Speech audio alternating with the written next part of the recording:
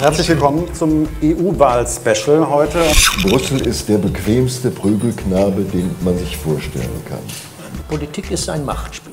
Weil mir das nicht gefällt, wie wir hier über die Europapolitiker sprechen.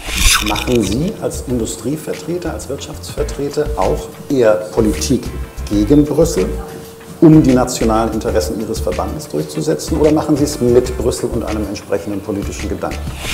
Aber ich glaube, wir machen so langsam den, den, Fehler, wirklich Europa nur auf Wirtschaft zu reduzieren. Wie kann sich Europa in einer völlig veränderten, globalisierten Welt sich behaupten, à la longue?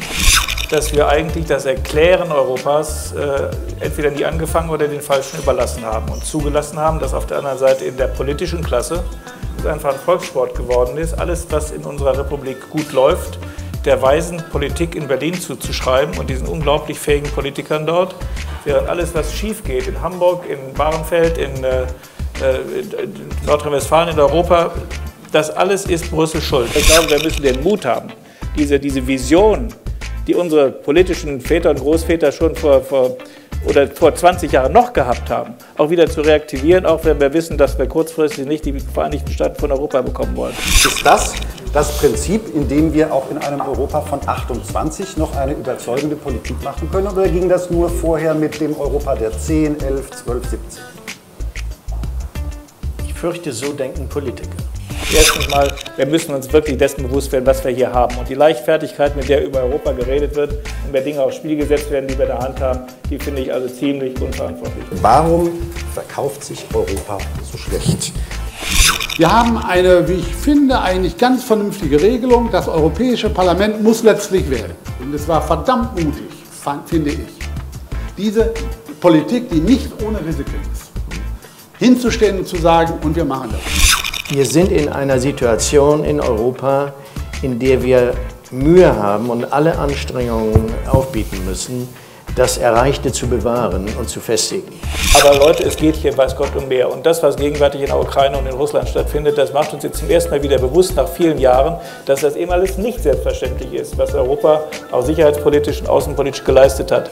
Dass wir endlich erkennen, dass wir eine wirkliche gemeinsame Außen- und Sicherheitspolitik brauchen. Ja. Ich schließe die Verteidigung hier ein.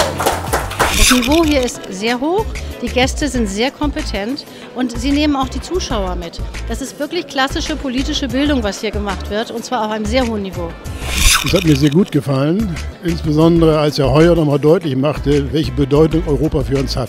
Also mir hat das sehr viel gegeben und es gibt mir nochmal auch andere Gedankengänge hinsichtlich Europa und auch hinsichtlich der Zukunft Europas. Und das äh, bekommt man nicht so alle Tage.